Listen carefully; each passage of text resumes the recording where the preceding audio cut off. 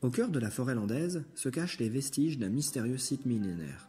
Pour le découvrir, il faut se rendre sur la commune de Réolis et prendre la voie communale C6 en direction de Meylan et Arcs sur plus de 3 km.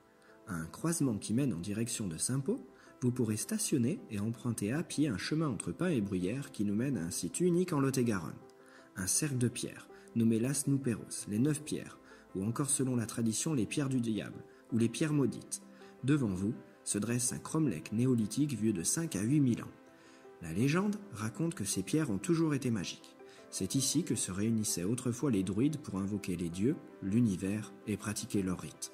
À cette époque, l'Europe était couverte de mégalithes, à l'image de Stone Age, occupés au solstice d'été et d'hiver, lors de rassemblements des élus, pour des sacrifices et funérailles, et bien sûr lors des sabbats, l'assemblée nocturne des sorcières en compagnie des démons.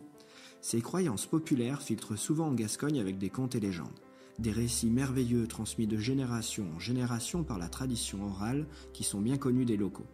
La première histoire raconte qu'un serpent géant gardait l'enceinte de pierre et qu'un trésor était caché en son centre. Une autre raconte que l'endroit attirait les sorcières au moment des sabbats, ces messes sataniques célébrées au solstice où elles venaient y danser en ronde et nues à l'image des orgies antiques. La dernière, la plus célèbre, mêle les deux précédentes pour une histoire à tomber raide mort. Au centre des pierres reposait un trésor accessible seulement deux fois par an, lors des sabbats de sorcières au solstice d'été et d'hiver. La mort frappait soi-disant les curieux en quête de richesse en dehors de ce laps de temps. Au XVIIIe siècle, un berger du village de Sos courut le risque. Il connaissait bien les lieux de cette lande isolée pour y venir paître ses brebis. À l'aube, il se cacha derrière un gros chêne tout proche du lieu diabolique. Alors que le sabbat s'achevait, les fines sorcières sentirent sa présence et devinèrent que quelqu'un était caché dans l'ombre.